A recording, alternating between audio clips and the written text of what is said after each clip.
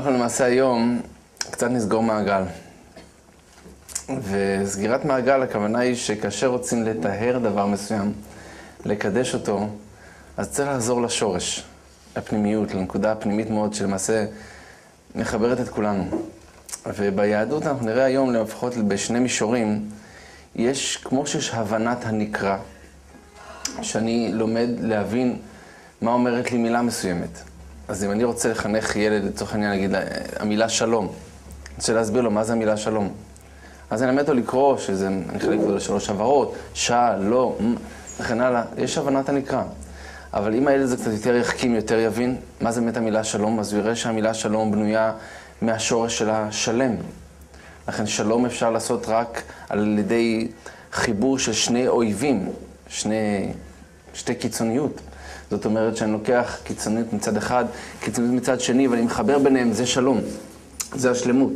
לכן למשל במזרח, היין והיאנג, שני חצאים, שהטאו, השלם, זה רק בחיבור של שניהם.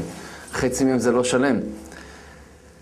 ולכן המושג של שלום זה שלם, ולכן המילה ירושלים, לדוגמה, יש לה את השורש שלם בתוכה, כי ירושלים זה עיר שחוברה לה יחדיו, מחברת שתי קיצוניות, מצד אחד רוח, מצד שני חומר, בית מקדש. מצד אחד זה אבנים, זה לבנים, זה סתם כביכול עצים ואבנים, אבל מצד שני זה מחבר את החומר לרוח, וזה איזה חיבור של שתי ניגודים שונים, ואתה רואה שזה למעשה המושג של שלום. עושה שלום במרומיו, חז"ל אומרים, הוא יעשה שלום עלינו. מה הכוונה, מה יש לעשות שלום במרומיו? איפה יש בשלום, במרום בעיות? אז אומרים חז"ל ששמיים זה שילוב של אש ומים, זה המושג של שמיים. לכן ביניהם צריך לעשות שלום. אז מי שעושה, מי שעושה שלום במרומה, הוא יעשה גם שלום עלינו. כי גם לנו יש את הניגודיות הזאת, גם לנו יש את ההשלמה הזאת. לכן אתם תראו שמי שבאמת בונה את בית המקדש הוא שלמה. שוב, לא סתם. כל המושג של השם של האדם גם כן מביע, מביע את כל המהות הפנימית. אז יש הבנת הנקרא. כך גם בקבלה יש הבנה מאוד מעניינת של המושג של נומרולוגיה, מספרים. אנחנו נראה היום בזוגיות למעשה את הפן גם של מספרים, כי גם במספרים אין סתם, כל מספר יש לו את המהות שלו. ואתם תראו הרבה מאוד אירועים מתקשרים לספרות מסוימות, ספרה 1, 2, השיר בפסח, אחד מי יודע, זה לא סתם שיר ככה, טוב, בוא נחשוב, אחד מי יודע, אה, אה, אחד אלוקינו. שניים, מה אתה אומר שניים? אה, שני לוחות הברית. איזה יופי, באמת. כל אחד עם הרעיונות שלו, זה מה, רק זה כל המהות של השיר, ודאי שיש פה דברים הרבה יותר עמוקים, הרבה יותר פנימיים. ופתאום כשאתה לוקח מספר, כמו למשל, אנחנו, אנחנו נראה היום, שבע הברכות של החתן והכלה. אז דווקא שבע? למה לא אכלו שמונה? למה לא שש? האם יש דווקא שבע ברכות? למה זה שבעת ימי הכלולות? להבדיל יש שבעת ימי אבלות. אנחנו נראה למעשה שדוד המלך הוא המחבר והמהות של הספרה שבע בצורה העיקרית ביותר, ולכן הוא הרגל השביעית במרכבה, זה נקרא. כאשר האושפזים נכנסים בסוכות, אז אברהם, יצחק ויעקב נכנסים ראשונים, שלושה. אחרי זה יש לנו את משה, אהרון, רביעי וחמישי, יוסף השישי, מידת יסוד, ומידת מלכות הוא דוד, הספירה השביעית, ספירת מלכות כנגד יום השבת, לכן השבת נקראת שבת המלכה, מלשון מלכות. זו הספירה השביעית, זה דוד המלך, מלכות בית דוד. לכן דוד המלך, מי יודע כמה שנים הוא חי, אתם יודעים? 70. 70 שנה. לכן הוא נולד ביום שבת ונפטר ביום שבת. באיזה חג? שבועות. יפה. זאת אומרת, ואיך קוראים לאשתו שנועדה לו מששת ימי בראשית? בת? שבע. יפה. זאת אומרת, רואים שאין מציאות של... סתם, בואנה, הוא מחזיק 70 שנה. ואם הוא מחזיק 69? כל המערכת הייתה נופלת. לכאורה יש פה איזשהו מנגנון שסוגר אותנו בצורה מאוד מאוד עוצמתית, שלמעשה כל הפרטים זה חלקים מן השלם, אבל כשאתה מסתכל על התמונה השלמה, פתאום אתה מקבל את העוצמה של הדברים. ולכן היום אני ארצה לגעת בנקודה שאני לא אוכל לדבר עליה כמו שהייתי רוצה לדבר עליה, מכיוון שאני אדבר על נקודה עדינה היום. הנקודה של בינו לבינה והקשר העוצמתי לבינו לבינה. שהוא מורכב כמובן גם מהרובד הרוחני, הנפשי, שדיברנו על זה בסדרה שלנו, כמה מילה חשובה, כמה יחס חשוב, כמה הערכה לשני חשובה, אבל גם היחס של הקרבה בינו לבינה, היחס הגופני, אי אפשר לבטל אותו. מצוות פרו ורבו היא לא סתם מצווה לעצם המשך קיום הדור, קיום המין, כי מה יהיה אם זוג למשל, האישה חס ושלום, הגבר הוא עקר או עקרה? אז אסור לנו להיות ביחד? מה יהיה בתקופה שהאישה היא בהיריון, שהיא איננה יכולה להתעבר? מה יקרה כבר במעבר הגיל? אנחנו, הגיל עושה את שלו, ומגיל מסוים כבר אנחנו לא יכולים להמשיך את קיום הדור. האם כבר הקשר הזה בין הגבר לאישה הוא אסור? הוא מותר? מה הולך פה בכלל? אנחנו נראה שזה המיזוג העוצמתי ביותר, ששוב אני אומר, מכיוון שאנחנו פונים לקהל מאוד מגוון, בגילאים שונים, אנחנו, כיוון שמצלמים אותנו, אנחנו לא שולטים על מי רואה, איך רואה, וביהדות יש דברים שהשתיקה והצניעות יפה להם, ומדברים על זה יותר בחדרי חדרים, אבל אני מדגיש, אבל מדברים על זה בחדרי חדרים. כי מי שחושב שלא מדברים על זה, טועה בתכלית הטעות, מכיוון שאם אני לא אדבר על זה, אני לא יודע את זה. אני לא, מאיפה אני אלמד את זה? אם אני אלמד את זה מהטלוויזיה, חס ושלום, מכל מיני, מהאינטרנט, אני לא אפילו בכלל לחשוב. עכשיו נראה רק את העקמומיות הגדולה ביותר שאפשר. ואז ממילא אני יכול לפגוע באינטימיות היפה ביותר של בינו לבינה. כי אני נחשפתי לכל מיני מושגים שראיתי, איך אני יכול באמת לחזור חזרה ל- ל- ליופי, לטהרה, לפנימיות, לעדינות של בינו לבינה, שזה הקשר היפה ביותר, העוצמתי ביותר, עד כדי איך שחז"ל דאגו לא לפגוע אחד בשני. אז כמו שאמרנו שהאדם הראשון וחווה, כאשר אלוקים מפריד ביניהם, נוסר ביניהם, אז הוא מרדים את אדם הראשון, ויפל תרדמה על האדם, שישן. למה שישן? תן לראות עכשיו, בוא'נה, אתה מוריד את חווה ממני. שמע, זה קטע היסטורי, זה לא יחזור עוד פעם. תבין, צלם, נראה תמונות לקין והבל, שיהיה כאילו אחרי זה, תבין. זה חוויות. לא, הקדוש ברוך הוא הולך תישן. למה? שמא, אומר שם רש"י, זה דבר פשוט כל כך יפה לראות את זה. שמא אני אראה את אשתי בצורה לא מושלמת, והיא תתגנה עליי. והקדוש ברוך הוא רוצה שאשתי תהיה חביבה עליי, שאני אהיה חביב על ידי אשתי. ואנחנו, אנחנו נראה היום, אנחנו בבעיה מאוד גדולה, כי יש לנו שתי בעיות עיקריות. כיוון שאנחנו מחוברים לגוף, הגוף תמיד רוצה, א', חדש, תמיד, תמיד אני מחפש חדש, יותר מעניין, בעיה ראשונה. בעיה שנייה, אני מחפש עוצמתי יותר. תמיד. אני רואה סרט מסוים, אני רוצה שהסרט הבא יהיה יותר עוצמתי, יותר מעניין, יותר נועז. אני לא יכול להישאר במה שראיתי. ולכן אפילו אם אני הייתי רואה סרטי שחור לבן, פתאום אומרים לי, תשמע, יש איזה סרט צבעוני, על מה אתה רואה שחור לבן? אה, באמת? אני רוצה עוד שכבר צבעוני. אחרי זה יגידו, תשמע, יש, יש תלת מימד, יואו, מה אתה מדבר? אני רוצה לראות את זה. תמיד אדם רוצה לראות חדש ועוצמתי יותר. מה יהיה איתנו? מה עם הזוגיות? אני רוצה לאהוב את אשתי. אני רוצה לחיות איתה לנצח נצחים. איך אני יכול לעשות את זה כאשר אני עדיין רוצה חדש ועוצמתי יותר? וכמה אנחנו יכולים להיות חדשים ועוצמתיים יותר? שלא נדע מצרות, אנשים באמת מחפשים מתחת לשטיח כל מיני רעיונות. אבל אתם תראו שזה לא הדרך, ודאי לא הדרך הנכונה. לפחות איך שהיהדות מסתכלת על זה. חייבת להיות נוסחה מאוד פשוטה, אבל מאוד עוצמתית, לשמור על הקשר הזוגי הזה לעד ולנצח נצחים. ועל זה נדבר קצת היום. מכיוון שכאשר האלוקים ברא את האדם, אז הוא ברא אותנו באמת מחוברים מגוף ונפש. ויצר השם האלוקים את האדם עפר מן האדמה, ויפח באפיו נשמת חיים. אני לא יכול להיפרד מהגוף. היהדות לא טוענת שאנחנו דוגלים בנזירות, לבטל את הגוף, לא לתת לו מה שהוא צריך. אדרבה, קח את הגוף, אבל תקדש אותו. תעשה מה שאתה רוצה, אבל במינון נכון. זאת אומרת, סוד כל ההנאה בחיים, א', זה מינון, ב', זה טכניקה. מה הכוונה? אנחנו דיברנו, היה שיעור שלם על הנושא של יסוד המים. בסדרה שאנחנו העברנו פה על ארבעת היסודות, אנחנו הגענו למעשה ליסוד המים.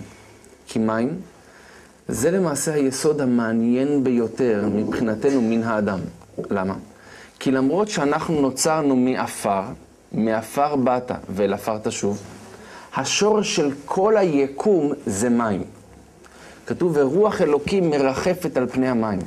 בהתחלה היה רק מים. אחרי זה, האלוקים, ככה מביא ספר היצירה, הוא לקח מעין רגב אדמה, איזשהו גוש של אדמה, גרגיר של אדמה, מדבר שנקרא כיסא הכבוד, זה איזושהי בחינה רוחנית מאוד גבוהה, השליך לתוך המים, ואז נוצרה אדמה. ותגלה הארץ מתוך המים, כאשר האלוקים למעשה מזיז את המים ונותן מקום לאדמה להתגלות. אבל השורש של הכל זה המים. לכן אנחנו נראה היום שכאשר אני רוצה לחזור לשורש שלי, אני טובל במים. אני מכניס את עצמי לתוך המים, אסור ששערה אחת שלי תהיה בחוץ. אני נכנס כל כולי לתוך המים, ואני חוזר לשורש שלי. וכמו שרוצים לטהר כל דבר, יש לי כלי מתכת, יש לי כלי זכוכית, יש היום מחזור קוראים לזה. אני רוצה להחזיר את זה לט... לטהרה שלו, לחומר הגולמי שלו. אני מחזיר אותו לשורש שלו ומתחיל מההתחלה. נראה איך עושים את זה. אז ביסוד המים למדנו שכל סוד ההנאה בחיים, אפשר לקרוא לזה אומנות ההנאה, שזה אומנות. אדם שיודע לשלוט בזה, יכול באמת ליהנות בחיים. אבל אומנות ההנאה בחיים, למדנו ביסוד המים ושם יותר הארכנו, שלמעשה טענו שאדם לא נהנה משום דבר בעולם. כך טענו. אדם לא נהנה משום דבר בעולם. נתנו דוגמה, שלמשל אתה לוקח זוג צעיר שהתחתן, והאישה עושה איזושהי ארוחת אימה לבעלה. עושה לו איזה דג מושט כזה, ככה עם uh, חתיכות לימון ופטרוזיליה מפוזרת. אז uh, הבעל מאוד מתלהב, מתחיל לאכול את הדג. אשתו שואלת אותו, בעלי היקר, אתה נהנית חמוד שלי. אומר לה, אשתי, את מדהימה. גם יפה וגם מופע. היא אומרת לו, מצוין. היא מוציאה לו פנקס ורושמת דג מושט עם חתיכות לימון עם פטרוזיליה. והיא אומרת לה, מה את רושמת? היא אומרת לו, אני אישה טובה, עושה רצון בעלה. אני בלי נדר הולך לעשות לך את הדג הזה שלוש פעמים ביום, 365 יום בשנה, חוץ מתשעה באב ויום כיפור, עד 120, בעזרת השם נהיה ביחד. אם הבעל הוא מאופק, אז הוא עוד ככה יגיב באיזה חיוך אה, רפה. ואם לא, הדג הזה ירדוף אחרי אשתו. מה, את עושה צחוק? כאילו, בסדר, נהניתי, אבל לא צריך להגזים. עכשיו, תבינו טוב. על פי כל אומדן כזה או אחר, אם באמת הייתי נהנה מהדג, כל פעם שהייתי אמור להיפגש איתו, הייתי אמור לחוות אותה חוויה של הנאה מהדג הזה. אבל ביהדות, כיוון שיסוד המים הוא יסוד שאחראי על התאוות, הכלל הוא שמים יכולים למלא רק מה שהוא חסר. רק ברגע שיש לי חוסר, אפשר אותו למלא. ולכן, המשוואה של כל ההנאות בחיים משוואה כזאת. אפשר ליהנות רק ממילוי של חסרונות. מילוי של חיסרון גורם לי הנאה. אני לא נהנה מעצם הדג, אני נהנה פשוט מאוד מהחיסרון שיש לי לאכול דג. מילוי החיסרון גורם לי הנאה. אם אני עכשיו, למשל, לצורך העניין, לא שתיתי הרבה זמן, ואני מאוד צמא, ייתנו לי מים רגילים, אפילו לא קרים, מהברז. אתם יודעים כמה אני אהנה מעצם המים האלה? אני אתענג עליהם. למה? כי אני צמא. יש לי חיסרון גדול. אם הייתי רבה, שתיתי הרבה לא מזמן, תנו לי את המשקה הכי טעים בעולם, אני לא אוכל ליהנות ממנו, כמעט בכלל. זאת אומרת, פונקציית הנאה לא תלויה בעצם הדבר, היא תלויה בגודל החיסרון שלי.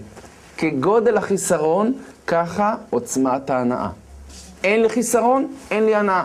ממילא, אם אני רוצה ליהנות בחיים, כל מה שאני צריך ליצור זה חיסרון. כגודל החיסרון, ככה גודל ההנאה. אין חיסרון, אין הנאה. ממילא, אם אני הבנתי את זה, כאן תלוי כל סוד הקשר הזוגי. בא אלוקים ואומר לי, תשמע, אני רוצה שתהנה עם אשתך. ואני יודע שאתה קשור לחומר, ואם אני אתן לך כמה שתרצה, מה שתרצה, זה יימאס לך. ובשלב מסוים, אתה תהנה מזה שנה, שנתיים, שלוש, אבל בשלב מסוים, די, יימאס לך. בפרט שאנחנו לפעמים בידיים שלנו הורסים לנו את הזוגיות. איך? כמו שדיברנו, ברגע שאני חשוף לכל מיני גיורים יותר גדולים. כי ברגע שאני חשוף לגיורים יותר גדולים, כבר אני לא יכול להסתפק במה שיש לי בבית. זה מציאות, ככה טבע האדם. לא שייך שאם אני שתיתי משקה טעים, שעוד אני אהנה ממים פשוטים. לא, זה כבר לא זה, זה לא טעים לי. אם לא הכרתי שיש בכלל משקאות אחרים, אז מה שיש לי זה טוב, אני מרוצה מזה. ברגע שנחשפתי לגורים גבוהים יותר, אני חושק בהם יותר. ולכן, אם אני חשוף בעולם מתירני לכל מיני גיורים כאלה ואחרים, אני בבעיה. כי אשתי, בעלי, זה אותו דבר, זה אותו עוצמה, וזה כבר נמאס. אז מה אני אעשה? ועוד בפרט אני אומר לכם שאני רואה כל מיני דברים שפשוט מטשטשים לי את המציאות.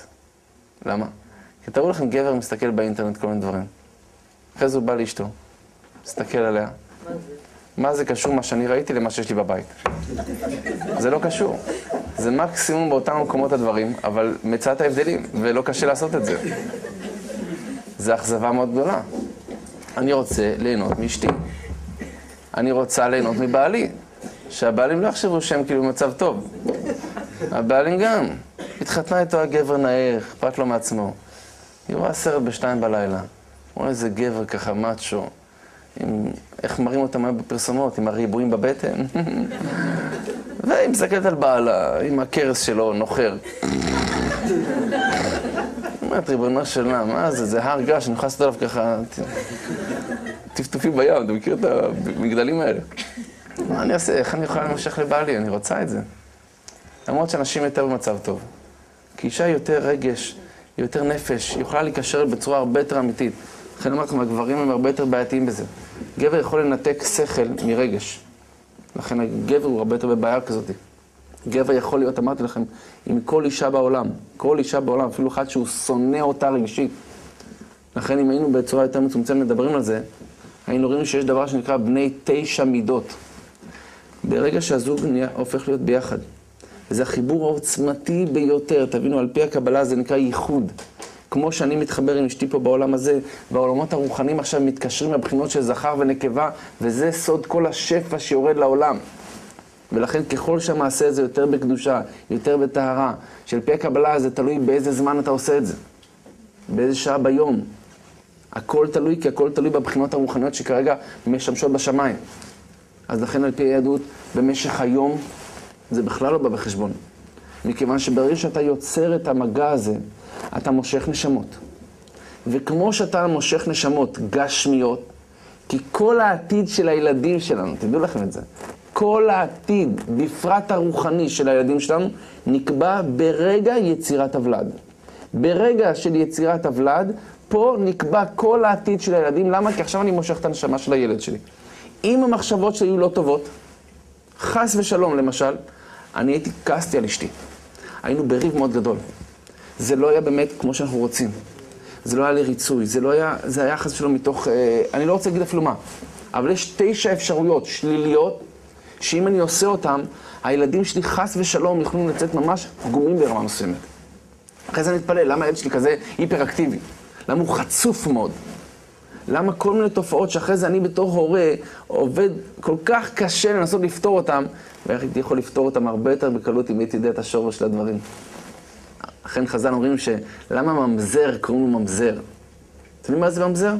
ממזר זה לא כאילו, יש בנדיט. זה מה זה בנדיט כאילו? שובב וממזר זה... למה קוראים להם ממזר ממזר? כאילו למה אנחנו תמיד אומרים לאחד שובב, ממזר. מה זה קשור? ממזר זה חס ושלום, זה ילד שנולד, חס ושלום, ברגע שאשת איש נפלה. ברגע שאשת איש חס ושלום בגדה, והיא התעברה, הילד הזה הוא ממזר. בעיה מאוד גדולה, גדולה, כל המצב של הילד הזה. מאוד מאוד בעייתית. למה קוראים לו ממזר? מה זה קשור, הילד הזה, מכביכול ילד שובב כזה, כאילו תחמן כזה? מה זה קשור? למה כינו ממזר בצורה של ילד כזה? כי איך הוא נוצר הילד הזה? הרי אימא שלו, בזמן שהתעברה, היא פחדה. בעלה הרי איפה שהוא נמצא פה. אז היא עשתה את זה, מה שנקרא, בתחמון כזה. צ'יק צ'אק. בוא נעשה איזה תחמון. בוא נעשה איזה ממזר. ואז יוצא ילד ממזר. כי זה תלוי במחשבה שלנו. מה שאני חושב באותם רגעים. לכן יש תפילה מיוחדת לפני כן. כדי שהמחשבות שלי יהיו טהורות, קדושות, אמיתיות, שאני אעשה את זה לשם שמיים, יש כל מיני דרגות. שוב, אנחנו בקהל מעורב, אני לא יכול לפרט יותר מדי, אבל זה פשוט מאוד יפהפה לראות את זה, כמה הכנה יש לפני כן. כמו כל מצווה, יש הכנה. זה לא כאילו, אני לא איזה כלבלב, כאילו נפגש ברחוב ועושה, מה זה הדברים האלה? זה בושה בכלל שאני הורדתי את הדברים הכי נעלים, הכי קדושים, הכי עוצמתיים לדרגה של בהמה. זה פספוס, חמוד שלי. אתה יכול להגיע לדברים פי אלף יותר עוצמתיים, יותר יפים, יותר נעלים וגם יותר מהנים, מאשר סתם מעשה גשמי כזה או אחר. לכן המחשבה חשובה. הזמן במשך היום, על פי הקבלה לא שייך. לילה, יש זמנים. אחרי חצות הלילה, המעולה ביותר. אחרי חצות הלילה, בערב שבת, אין לך זמן יותר מסוגל לזה. חצות לילה, ערב שבת. הכוונה היא יום שישי בלילה. אז אתה מושך נשמות כמעט חדשות. נשמה חדשה זה נשמה שכמעט אין לה מה לתקן פה בעולם הזה. היא לא עברה גלגולים, נשמה חדשה. תמיד הרבה יותר קל למשוך כזה, הרבה יותר טוב ילד כזה. הוא ילד רוחני יותר, ילד שפחות נמשך לרע, ילד הרבה יותר קל לחינוך, ילד מאוד מאוד טוב, קל מאוד. אני לא יכול לדבר איתכם יותר מדי, אבל מי שיודע, ו... אז יכול להיות הילדים שלו, כל מיני דברים. אבל זו מציאות שתלוי בזמן שאתה עושה, ככה הבחינות הרוחניות בשמיים משפיעות. המחשבה שלי קובעת. מה אכלתי לפני, אחרי, כל מיני טקסים רוחניים, קבליים מאוד יפים, של נטילת ידיים, אמירת מזמורי תהילים לפני הבעל, האישה. הכנות יפהפיות, פשוט שאני חייב ללמוד אותם כדי לדעת איך אני עושה את זה כמו שצריך. כי זה בעצם הדובדבן של הקשר. אבל ברגע שאני עושה את זה בצורה חייתית, בהמתית, שגרתית, אין מה לעשות. אנחנו בני אדם, קשורים לחומר, זה נמאס. וברגע שזה נמאס, זה מאבד את הכל. כי כל טיב הקשר הזוגי, כמעט כולו עומד על זה. שטוב לזוג ביחד, הכל טוב. לא טוב להם ביחד, הכל לא טוב. עצבנות, רוגז, הסתכלות הצידה, פזילה, חס ושלום. חס ושלום, ואז ממילא אני מאבד את הכל. לכן, בא אלוקים נתן לי ככה טיפ, בוא בוא נשמור על החכמות שלי. אני רוצה שתהיו באמת חביבים אחד על השני. כי אם אני אתן לכם חופשי, חופשי תעשו מה שאתם רוצים, לא שייך. אם אני אגיד לכם לא לעשות, זה ודאי לא שייך. אלא מה? תעשו את זה כמו גדולים אבל. מה זאת אומרת כמו גדולים? אני רוצה שתעשה מינון נכון. ואז אלוקים יצר דבר שנקרא, אפרופו יסוד המים, מושג שבעצם נקרא טהרת המשפחה. מה זה טהרת המשפחה? טהרת המשפחה זה למעשה, בעקבות חטא הדם הראשון, כל העולם ירד ברבה רוחנית. עשר קללות נתקלל אדם הראשון בעקבות החטא. ביניהם, קללה שאנחנו כולם מכירים, בזיעת אפיך תאכל לחם. החיוב עליי לעשות השתדלות בפרנסה, בבריאות וכן הלאה, נגזר בעקבות חטא הדם הראשון. עשר קללות נתקלל אדם הראשון. עשר קללות נתקלל הנחש. תשע קללות נתקללה האדמה, ועשר קללות נתקללה חווה. סך הכל שלושים ותשע קללות. אנחנו למדנו שכנגד השלושים ותשע קללות האלו, יש לנו שלושים ותשע מלאכות בבית המקדש, ושלושים ותשע מלאכות ביום השבת. כאשר אני שומר את השבת ולא עובד את 39 המלאכות האלו, אני עושה, מתקן את אותו חטא אדם הראשון. אבל המושג הזה של עשר קללות שנתקללה חווה, אחת מהן זה המושג הזה של הווסת, המחזור של האישה. בשלב מסוים, במהלך החודש, אותה ביצית שהייתה אמורה להיות מופרית, היא לא מופרית. ואז האישה, אותו שפיכת דם, כביכול, שבגללה נגזר המיתה על אדם הראשון ולכל המין האנושי. אם אנחנו נחזור לפני חטא אדם הראשון, לא הייתה אמורה להיות מיתה. מיתה נגזרה רק בעקבות חטא אדם הראשון. מי גרמה לזה כביכול? חווה. התיקון שלה, אותו שפיכת דם של אדם הראשון, זה אותו תקופה של מחזור שהיא עוברת, שזה שפיכת הדם באותו רעיון. אבל פה זה התיקון. למה? כי התיקון כאן הוא למעשה מצב שכרגע אני אקח ואני אתבונן על זה. מה אני אתבונן על זה? זה למעשה האלוקים יצר לנו מצב של טהרה וטומאה. טהרה וטומאה לא קשורה למעשים טובים או לא טובים. לדוגמה, כל חיות זה טהרה, מיתה זה טומאה. ולמשל, כל בעל חיים שנפטר, כל כוח חיות שהייתה והסתלקה, משאירה באותו מקום טומאה. טומאה, השורש תט מ"א, זה מלשון השורש אטום. אטום וטמא זה אותן אותיות. סתימה מסוימת, פחות זרימה, בעצם תקיעות מסוימת, אטימות מסוימת. ולכן, כאשר יש הפסקת חיים, יש מצב של אטימות. זה יכול להיות כאשר בעל חיים נפטר, זה יכול להיות בצורה עוצמתית יותר כאשר אדם נפטר, או בצורה קלה יותר שאדם הולך לישון. כאשר אדם ישן על פי היהדות, כיוון ששינה זה אחד משישים במיטה, מעין מיטה קטנה, כאשר אני קם בבוקר, אני נוטל ידיים משום הטומאה. אני נוטל ידיים כיוון שהטומאה נשארת בעיקר על הידיים, כי הנשמה שלי סוף כל חזרה. אבל כל הפסקת חיות במשהו גורמת טומאה. יש טומאה ששייכת לגבר. ברגע שהפוטנציאל חיות, אותן אה, אפשרויות שלו לעבר אישה, כאשר אותם פוטנציאל של זרע לבטלה, שיוצא למעשה במקום מקום של קדושה במקום אחר, אז זה למעשה הפסקה של חיות מסוימת, פוטנציאל חיים שהלך לאיבוד, לכן הגבר הופך לטמא. ככה גם אצל האישה, יש לה תקופה שהיא, קוראים לזה נידה. נידה זה משון נע ונד. אני מרוחק כרגע, התרחקתי קצת. לא התרחקתי החוצה, אלא התרחקתי פנימה. תכף נראה. פה זו תקופה שלמעשה אלוקים רוצה לבחון את הזוג. למה? כי אני רוצה לראות האם הקשר של אשתי איתי הוא רק קשר פיזי? סתם טוב לנו ביחד, אז אנחנו ביחד? או הקשר גם יכול להגיע לרמה רוחנית קצת. להכיר את השני באמת, מי הוא. בלי מגע, לדבר איתו. ואז אלוקים בוחן אותי. נותן לי אפשרות שני כיוונים. גם ליהנות מאוד, וגם להחזיק את עצמי ולהעריך את השני יותר. מה הכוונה? כיוון שאמרנו שסוד ההנאות זה חיסרון, מילוי של חיסרון גורם הנאה. בא אלוקים ואומר לי, אני רוצה שאצלך בבית, אשתך, וזה לשון הגמרא, תהיה חביבה עליך כיום החופה. אני רוצה ליצור מצב אצלך בבית, שלא שתצטרך להחליף אישה, חס ושלום, אלא שאותה אישה שיש לך, היא תהיה חביבה עליך כיום החופה שלך. ותמיד אני מדגיש, חופה של תקופת הגמרא, חופה של דתיים, אבל דתיים אמיתיים. למה? זה הפעם הראשונה, ואני אומר לכם, מי שיחווה את זה, יחווה חוויה אדירה, שאני חושב שאנחנו, הדור שלנו, הצעיר, פספס את זה, אבל בגדול. אני לא יודע מי מאיתנו זוכר, טוב, לא צריך לפרט, אבל הכוונה היא כזאת. הכוונה היא פשוטה, שאני רוצה, תבין מה זה חופה של ה... שככה צריך בטהרה. הפעם הראשונה שאני נוגע באשתי. אתה יודע איזה התרגשות זאתי? אתה יודע איזה חוויה זאתי? ועוד בפרט שאני כבר יוצא איתה חצי שנה, שנה לפני כן, בלי שום מגע אחד עם השני. זאת אומרת, זו התרגשות אדירה, אדירה, אדירה, אדירה, ואמרנו, כגודל החיסרון, ככה גודל ההנאה. ממילא, המושג הזה שבאישה בשלב מסוים מגיעה הביתה ואומרת לבעלה, אני סוגה בשושנים. מה הכוונה? שושנה היא אדומה בדרך כלל. וברגע שהאישה נמצאת במצב של נידה, הכוונה היא, רואה טיפה דם מן המקור, אז היא נטמאת. אז היא נטמאת. היא נאטמת לקשר הפיזי בינה לבין בעלה. ואז הקשר עובר מקשר רק פיזי, בהמתי אפילו ברמה מסוימת, לקשר רוחני. זה לא התרחקות, אלא זה קרבה עכשיו בדרגה אחרת לגמרי. מה נעשה שנהיה מבוגרים, אה? שכבר די, הקטע בינינו הפיזי כבר זה לא זה. איך, מה אני אעשה עם אשתי?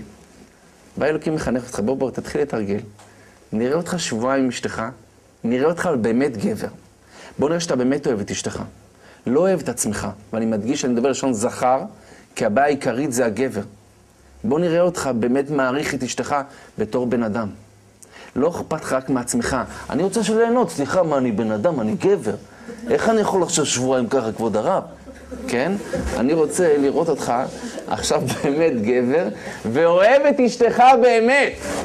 לא אומר לה, טוב, את שבועיים לא איתי, איך אמר לי פעם איזה גבר שלנו לצרות? טוב, אשתי רוצה לשמוע את הרעת המשפחה. שבועיים היא לא רוצה? שבועיים עושה לי קונצנט? אני הולך הצידה, כבוד הרב. למה הולך הצידה חס ושלום? כי הוא לא אוהב את אשתו, הוא אוהב את עצמו. ממילא בא לו עכשיו משהו, בא לי שוקולד, אז עד היום אשתי אינה מביאה לי את השוקולד הזה, אשתי לא מביאה את השוקולד, ילך למישהי אחרת. זאת אומרת, לא אכפת לי בכלל מאשתי. אני לא רואה אותה ממטר כביכול. אכפת לי רק מעצמי. ותדעו לכם, זוג שמנסה לשמור את טהרת המשפחה, והבעל יראה לאשתו שזה כביכול לא קשה לו בגלל שהוא רוצה אותה, אלא קשה לו בגלל שהוא רוצה, והיא כרגע מפריעה לו, אין לכם פגיעה מעליבה יותר מדבר כזה לאישה. שאני סך הכל מראה לעצמי, את חפץ בשבילי, את מבינה? את מכונת קוקה קולה שלי, שאני נהנה ממך. אבל אני בעצם רוצה את ההנאות שלי, וכרגע אם את לא תתני לי, אני אלך למקום אחר. לכן בא אלוקים ואומר, אני רוצה שהקשר שלכם יהיה ברמה אחרת לגמרי. תעשו, תשמעו לי, שבועיים קיפקה, שבועיים פסק זמן. שבועיים קיפקה, שבועיים פסק זמן. מה זאת אומרת? שבועיים תהיו ביחד. ואיך להיות ביחד צריך לדבר על זה. כי אם אתה עושה את זה נכון, אתה תראה שזה בונה מאוד את הקשר אחד עם השני. אבל שבועיים, תיפרדו.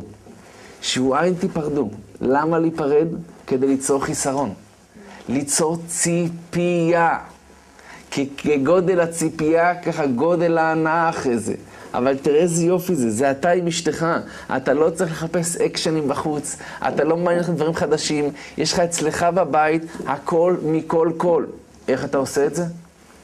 אשתך כרגע אסורה לך. זה לא מה שאתה אסור להיות ביחד. אתם ביחד בדיבור. בהרגשה, אחד ליד השני, לא אחד עם השני. נראה אותך. נראה אותך יושב עם אשתך ומדבר איתה. לומד להכיר אחד את השני באמת. לומד להרגיש את השני, מה הוא צריך, מה הוא עובר. צורך נפשי מאוד מאוד עמוק, שהאישה צריכה את זה אולי הרבה יותר מהגבר. התפקיד שלך עכשיו לתת לה את זה. להיות איתה, לתמוך בה, להיות בשבילה. אתה תרוויח מזה חמוד שלי. למה? כי עכשיו מתחיל אצלך להיפתח חיסרון. אני תמיד קורא לזה כמו שיש ברחובות מתח גבוה, אתם מכירים את ה... ככה בבית שלך מתחיל להיות מתח גבוה. למה? כי זה סוד שרק אתה ואשתך יודעים. זה משהו צנוע, שקט, לא הילדים יודעים, אף אחד לא יודע. זה סוד רק שלכם, זה כל כך יפה, כל כך מהדק את הקשר, שאין לכם בכלל מושג מה זה. אבל מה? אולי יש לכם, אני סתם אומר את זה לעצמי, אני לא יודע. אבל הרעיון, אנחנו רק שנינו יודעים את זה. אשתי, יש לה בערך שבועיים.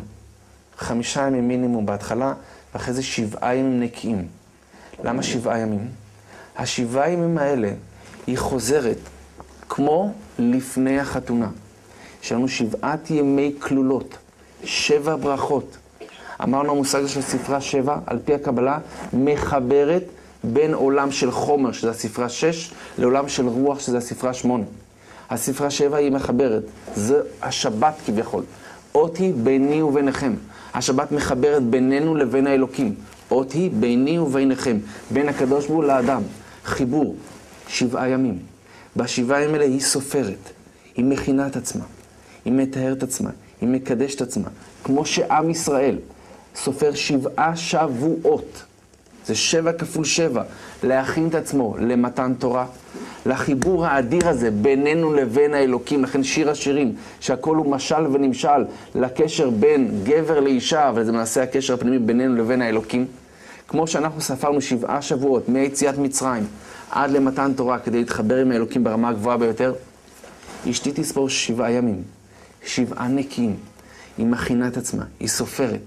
הספירה כמו ספירת העומר, שאנחנו סופרים לקראת מתן תורה, זה מלשון ציפייה. כמו שאני אמור להיפגש עם חבר הכי טוב שלי, אני כבר סופר את הימים, מה שנקרא. די, מתי הוא יגיע? בואנה, עוד יומיים, עוד שלושה. אני סופר, כאילו, עוד, עוד כמה דקות צריך להגיע, אני כל כך מתרגש. וזה מגביר ומעצים את ההתלהבות. ואז אנחנו סופרים, וזה קטעים שרק אני והיא יודעים. אנחנו לא ישנים באותה מיטה. מפרידים את המיטות. אסור לי לגעת אפילו באצבע קטנה. לא. הכל אנחנו מעבירים, אני שם את הדברים על השולחן, היא לוקחת. אני יושב לידה.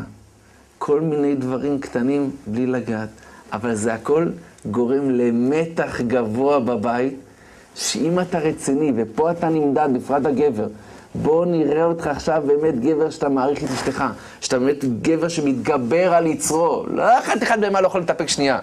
בשבילך, חמוד שלי, אני אומר לך את זה. קח טיפ להנאות בחיים. זה סוד ההנאות. להתאפק, להעצים, לצפות, לחכות. ואז, כמו ספירת העומר, אתה מתחיל, אתה ואשתך, אשתי, היום יום אחד לעומר, שבועיים לעומר, עד שמגיע ל"ג בעומר. ואז אתה למעשה מדליק את האש. למה? כי זה קשר פנימי. ואז החיסרון נוצר, ואז בעצם החיבור מתגשם. והחיבור הזה זה רק אחרי שהאישה מטהרת לבעלה במקווה. דווקא במים. למה? טומאה היא רוח רעה. רוח רעה כמו איזושהי אווירה כזאת. זה נקרא, נקרא כמו אאורה בשפה המקצועית, אלה שרואים הילות. יש צבע להילה. אדם טמא, זה לא משנה, גבר, אישה, זה לא אכפת למי. יש עליו מעין רוח טומאה. אווירה כזו, הוא נמצא בעננה כזאת, שהוא אטום כרגע להשפעות רוחניות גבוהות. הוא אטום. גם הגבר, גם האישה הם במצב של עכשיו של טומאה, קשה לי לחוות חוויות רוחניות גבוהות. אני אטום כרגע, אני סגור, אני צריך להיפתח. זה נקרא רוח רעה.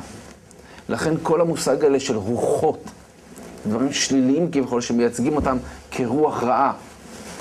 איך אני מטהר מרוח? שימו לב טוב. האנטיתזה לרוח זה מים. לכן כאשר אתם לוקחים לצורך בקבוק, אתם רוצים להטביל אותו בתוך המים.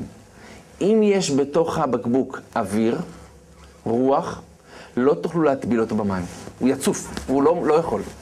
כדי להטביל אותו במים, אני חייב להוציא את כל הרוח מבפנים, ששום רוח לא תהיה, רק אז הוא יטבול בתוך המים. אתה לוקח קערה, אתה הופך אותה, תנסו להטביל אותה במים, לא שייך. לכן עושים כאילו בלופ בלופ בלופ, כאילו שיצא אוויר, ואז אתה יכול להטביל את זה. כדי שכל הרוח תצא, ורק אז אתה נכנס מתחת למים. זה מקווה. האישה אחרי שבעה ימים, שבעה ימים שבעה ימים נקיים. עכשיו תבינו, זה לא משנה אם האישה היא ראתה נידה עכשיו, או היא ראתה בגיל 12 או 13 והיא לא טבלה לדעת במקווה. זו טומאה שתמיד שורה עליי. כל עוד אני לא, לא טבלתי, זה תמיד נמצא עליי. לכן זה לא משנה אם ראיתי עכשיו, או לפני שנתיים, אם אני שומרת על עצמי, אז כל חודש פחות או יותר יש לי את הזמן ללכת למקווה. אבל תמיד, בכל מצב, סתם לכם, בינינו אני אומר לכם, זה, אם אשתי לא טבלה, אז אסור לי להיות איתה, זה לא משנה אם עכשיו היא כרגע בפועל לא במחזור, זה לא שעכשיו מותר לי, כי עכשיו היא לא במחזור. ורק בזמן שהיא מחזור זה אסור. כל זמן שהיא לא טבלה במקווה, זה עדיין אותה אטימות חיה לה, וחבל. זו מציאות למעשה שהיא מפריעה לי. מציאות שלמעשה היא אוטמת אותי. ולדעת, סתם, אני מדבר איתכם בתור, לפחות לפי נקודת ראות יהודית, שאם אשתי לא טבלה במקווה, על פי התורה אסור לי להיות איתה. אסור לי להיות איתה בצורה אינטימית, ואם אני איתה, אם, אכפת לי לפחות מהמערכת היהודית, שוב, זה כל אחד עם רמת האמונה שלו, רמת הקרבה שלו לתורה, אבל צריך לדעת שאם אדם נזהר למשל מלאכול חזיר, אז לאכול חזיר זה יותר קל מאשר להיות עם אשתי מלא טבלה. להיות עם אשתי שלא טבלה זה כמו, כמו לאכול ביום כיפור. זה דבר, זה איסור כרת. איסור כרת זה כמו לאכול אה, ביום כיפור, זה כמו לאכול חמץ בפסח, זה אותו רעיון, זה נקרא כרת.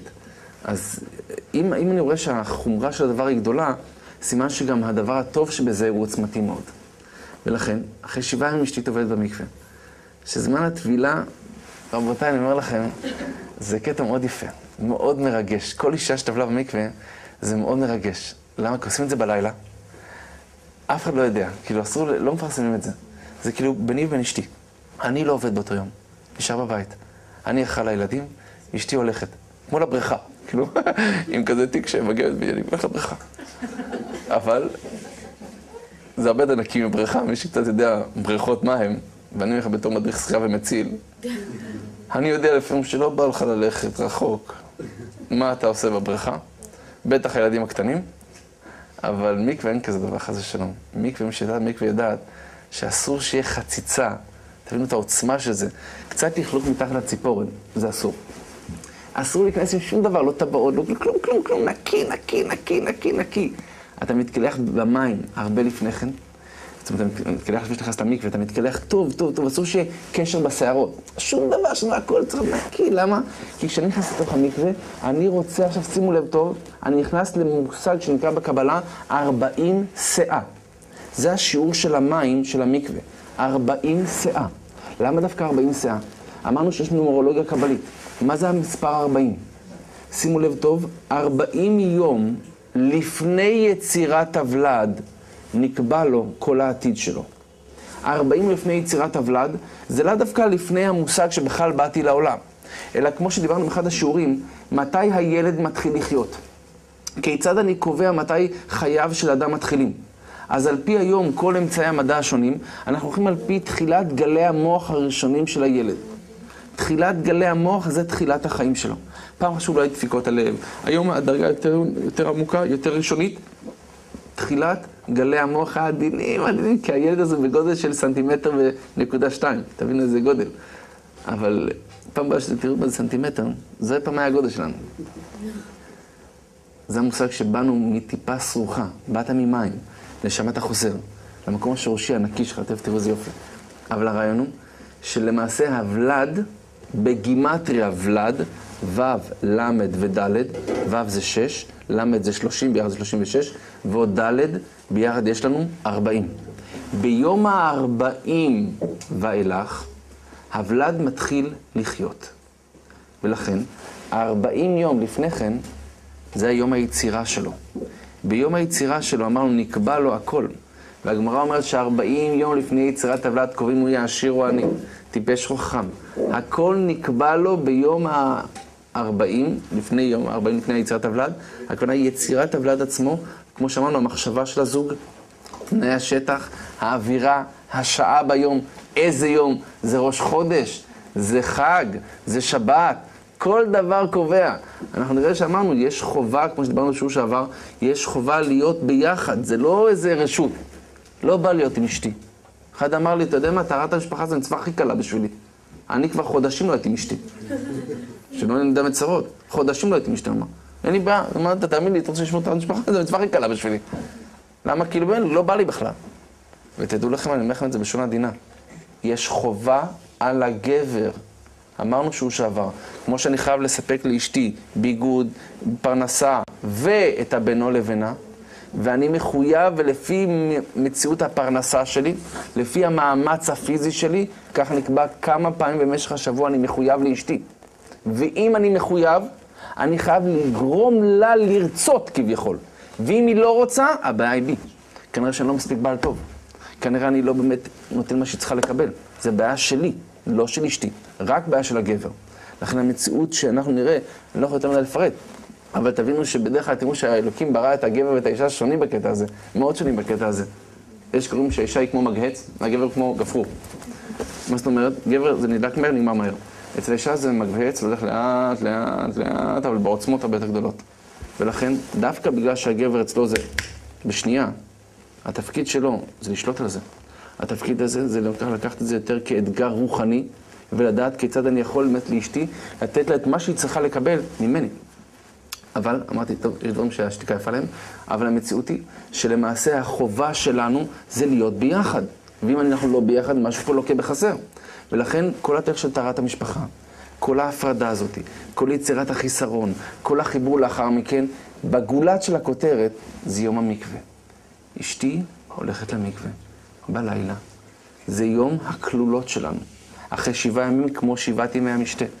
כמו שעכשיו הילדים יכולים לישון, ואנחנו חוזרים לגיל 17, לגיל כמו ילדים קטנים.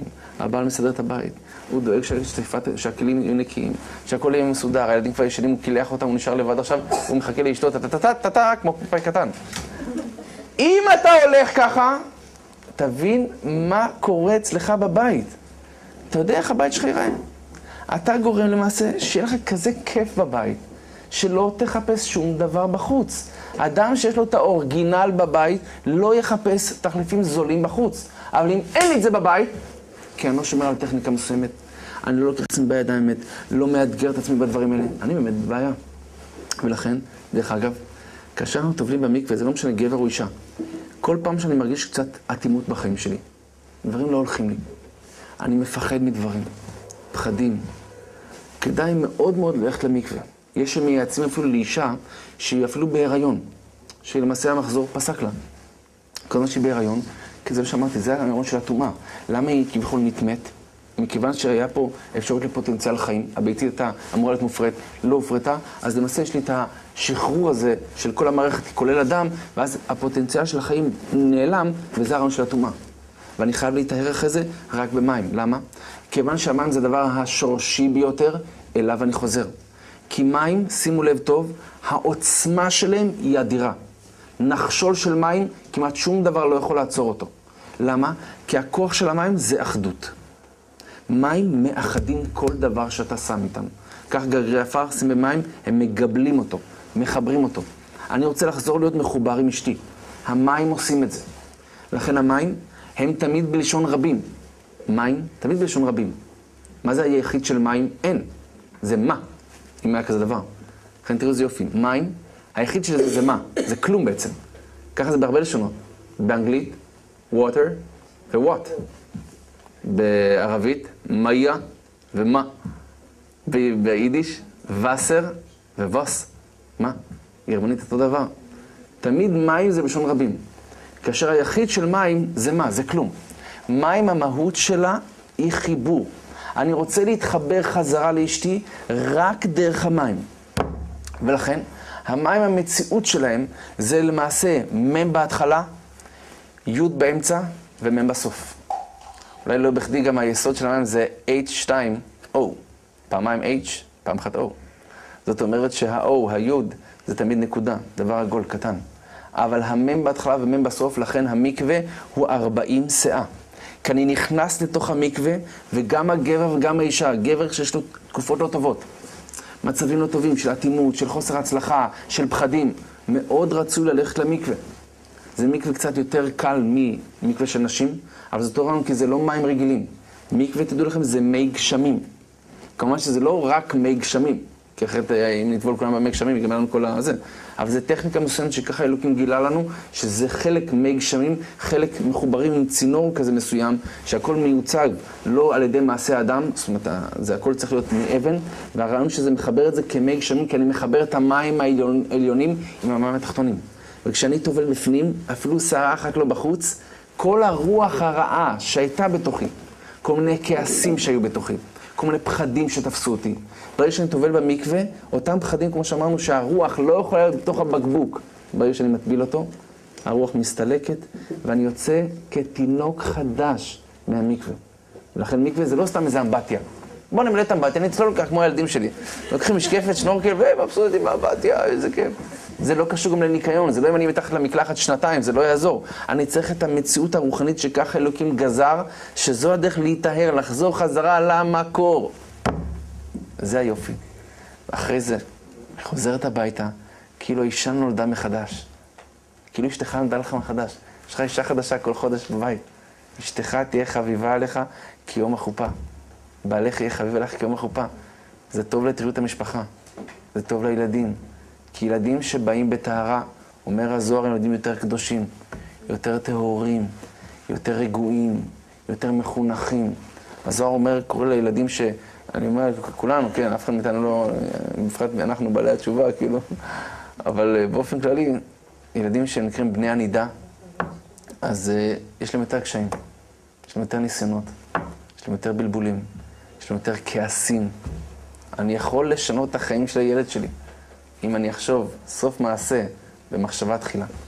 ולכן אתה, המושג של טהרת המשפחה זה פרויקט של הזוג, זה פרויקט הדדי, צריך שניים בשביל זה.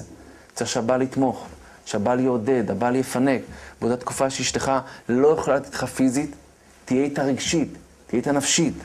אז אדרבה, תקנה לה, תהיה איתה, דבר איתה, תהיו ביחד, תהיו ביחד, אבל לא ממש ביחד. תשמרו את הקטע הפיזי, כיוון שאנחנו רוצים מחומר, לרגשות שאנחנו רוצים אותה, לחיבור שאנחנו כך חפצים בו. לכן הם הולכים בדרך הזאת, בדרך הנכונה, בדרך של ה... בדרך הקדושה, אז אתה פתאום רואה שאולי החיים יכולים להיות הרבה יותר יפים. מאתגרים, מעניינים, כל חודש יש אקשן. כל דבר יש לך למה לצפות, למה לחכות. יש רגעים שאתה עכשיו ביחד עם אשתך, עכשיו אתה לא עם אשתך, אבל הקשר מתהדק יותר ויותר. כי פתאום יש לכם משהו שמחבר אותך מעבר לקשר הגשמי. כי קטע גשמי רק, אז תמיד יש בחוץ יותר טוב. תמיד יש באינטרנט יותר מעניין, חס ושלום. אז מה? אז מילא אם אני שומר על הדברים הקטנים האלה, על הטהרה הפנימית הזאת, על הקשר ביני לבין אשתי. זה איפה של היהדות. זה איפה של התא המשפחתי. זה האומנות של ההנאה בחיים. לכן זה דווקא סביב הספרה שבע, דווקא סביב הספרה של הארבעים. זה דווקא המושג הזה של זוג עם מים, כי מים מחברים בין שנינו. ולכן, אני רוצה אולי לסיים לכם נקודה מאוד חשובה, שחז"ל אומרים למעשה שכל המושג הזה של טהרת המשפחה הוא למעשה פרויקט שאלוקים נתן לזוג כדי לבנות הבית שלהם. בבניית הבית מאוד חשובים היסודות. טהרת המשפחה זה יסוד הבית.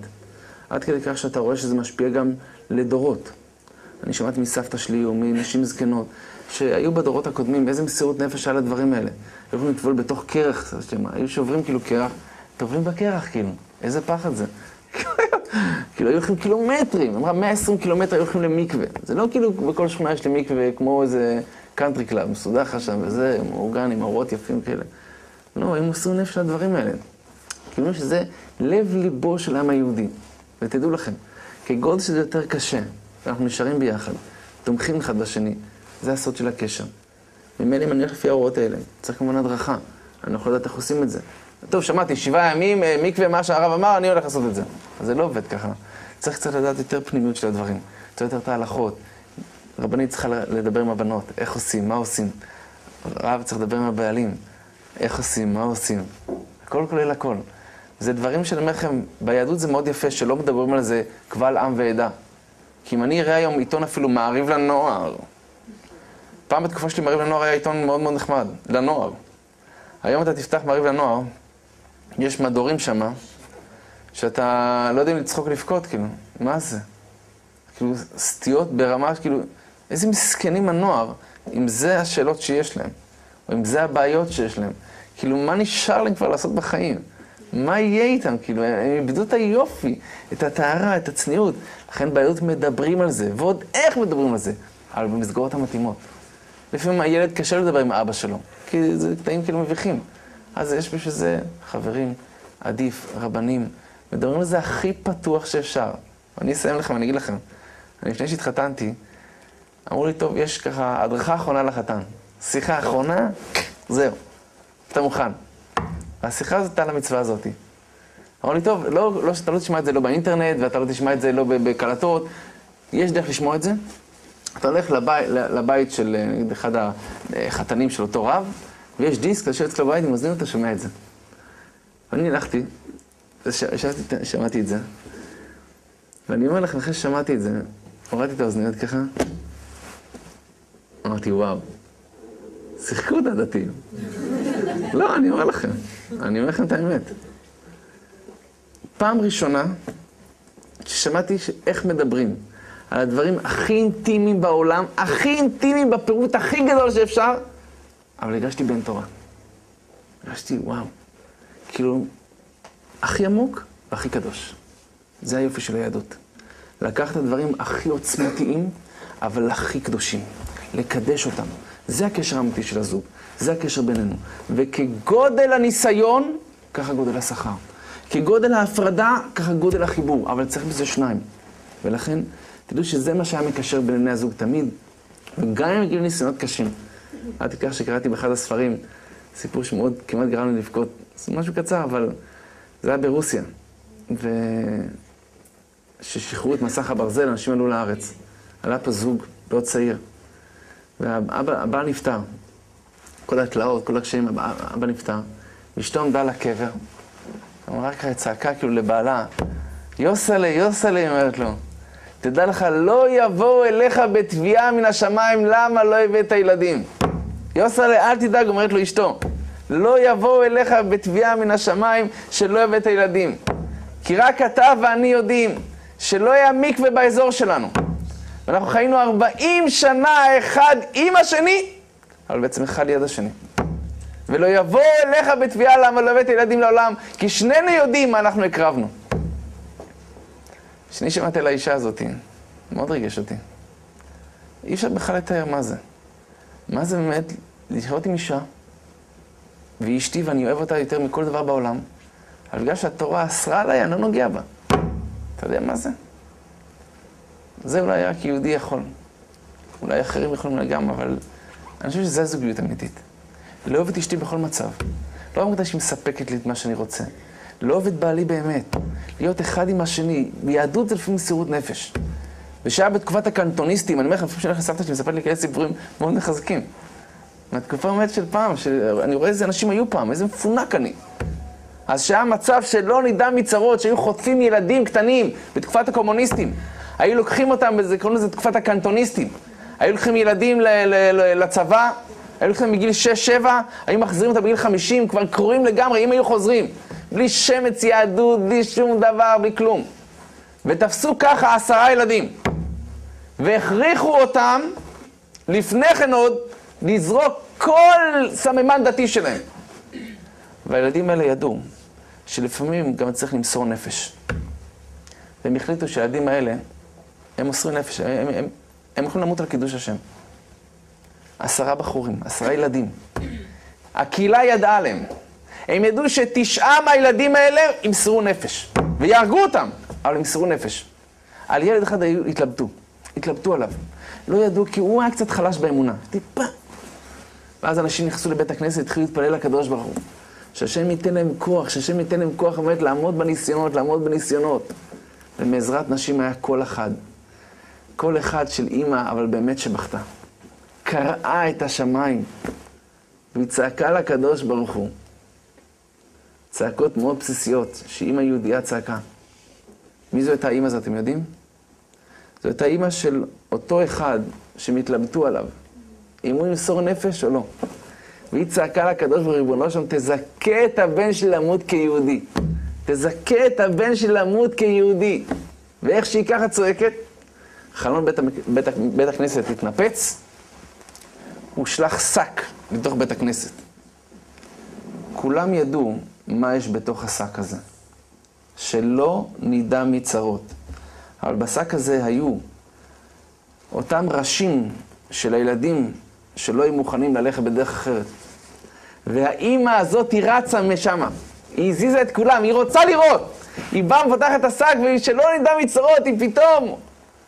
מסתכלת למעלה, היא רואה את הבן שלה גם שם. היא אומרת, ריבונו של עולם, תודה, תודה, תודה, שזיכית את הבן שלי למות כיהודי. כוח כזה, לא יודע איך להסביר לכם את זה, זה מעל הטבע, זה לא משהו הגיוני. אבל זה כוח פנימי שיש לכל אחד מאיתנו. ואני אמרתי לכם שיעור שעבר. אין זוג בעולם שמצאתי שהוא לא מוצלח. לא מצאתי כזה דבר. למה? כי לא מצאתי זוג מוצלח. אני חוזר. לא מצאתי זוג לא מוצלח, כי לא מצאתי באמת זוג מוצלח. אין זוג מוצלח. אין זוג מתאים, אמרתי לכם. יש זוג מותאם. אם אני אחליט שאני לוקח את הזוגיות שלי כפרויקט, ואשתי היא לא מה שאני רציתי בדיוק, ויש לה דברים טובים, דברים פחות טובים, אבל זו אשתי. בעלי זה בעלי. הוא לא מושלם, הוא רחוק מזה, יש לו דברים שאני אוהבת, יש דברים שאני לא אוהבת בו, אבל זה בעלי. אם לנו תהיה מטרה לבנות בית יהודי, בית אמיתי, בית של אהבה, של אחווה, של שלום ורעות, בית קדוש, בית טהור, אבל בית אמיתי, בית איכותי, בית, אני אומר לכם, בינינו, לשון הרחוב, בית בקלאסה. אני יכול לעשות את זה. אז הבית נראה בית יהודי. ואם יש בינינו אהבה, אם הילדים רואים שאבא מכבד את אימא, שאימא מכבדת את אבא, אני אומר לכם, הילדים כאלה, צריך לחנך אותם בכלל. הם גדלים כמלאכים מטבעם. הם ילדים רגועים, ילדים שקטים, ילדים טבעיים, ילדים טובים. ואם אנחנו יודעים איך עושים אותם כמו שצריך, בכלל, אפשר להכין את העוגה כמעט כמו שאנחנו רוצים. נכון שזה קשה, אבל תזכרו, זה תלוי בנו. אבל אני עוצר פה. לא משנה בין כמה אני. לא משנה באיזה תקופה אני בחיים. בין 15, בין 55, בין 35, זה לא מעניין אותי. בכל שלב אני יכול לעצור. מפה אני לוקח עצמי בידיים. אם אני לבד, אם אני כבר נשוי, אם אני לפני, אם אני אחרי, אני עוצר את עצמי, לוקח עצמי בידיים. אני אישית מחפש הוראות יצרן. מישהו שידריך אותי. אני חי בג'ונגל אחד גדול. העולם הערבי זה ג'ונגל אכזרי אפילו, אפשר להגיד. אני חייב דרך. אני בחרתי בדרך של היהדות, מטעמים שלי. לא בגלל שנולדתי כזה, אבל יותר בגלל שביררתי שזה כזה. שזו הדרך האמיתית מבחינתי. אני רוצה דרך שידריכו אותי. איך לחיות עם אשתי, איך להיות עם עצמי, איך לחיות בכלל בעולם המשוגע שלנו. אבל תזכרו, אם יש לכם פנס, גם בערפל הכי גדול, אתה יכול להתקדם. אפילו שזה לא מאיר לך את כל הדרך, אבל לפחות קצת זה מקדם אותך, תתקדם עוד קצת, עוד קצת ועוד קצת, עד שאולי בעזרת שנגיע ביחד לאושר האמיתי שכל אחד מאיתנו חפץ. תודה רבה לכם, שיהיה לכם לילה טוב.